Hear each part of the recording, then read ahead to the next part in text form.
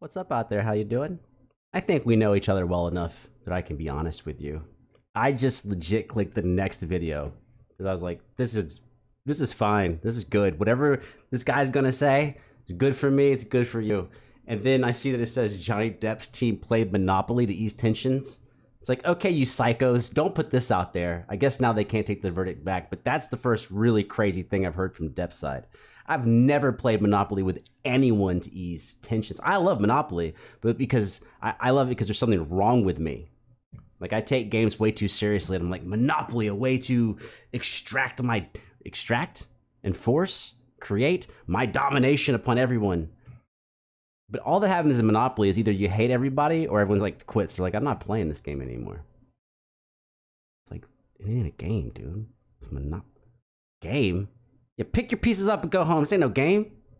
So the announcement of the ver- talk about the verdict. So the announcement of the verdict comes down. Was there just a mad dash in your camp? Uh oh, wait, wait, what's happening? Um, we were so tense that one of my colleagues brought a Monopoly game.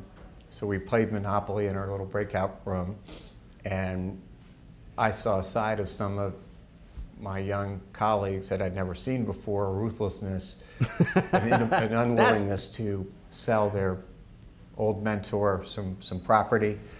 Um, Ruthless. That goes with Monopoly. Not tension easing. Ruthless. Thought you knew me? But that's Monopoly. Give me that rent. I selling you no house.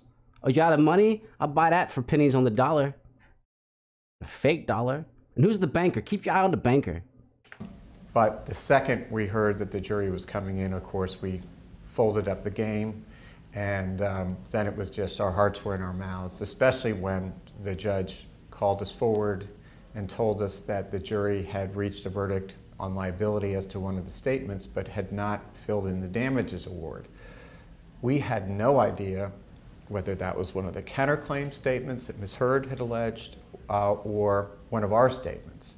So, and she, as always, Chief Judge Azcarate, you know, played it down the middle. We had no idea, so we had a torturous several minutes while we were waiting for the jury to do that.